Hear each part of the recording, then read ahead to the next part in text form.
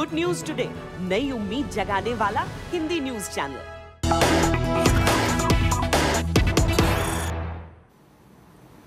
Breaking news just coming in. Police have registered a case under the Unlawful Activities Prevention Act over the draping of the body of hardline separatist leader Saeed Ali Shah Gilani in a Pakistani flag and the alleged raising of anti-national slogans after his death on Wednesday.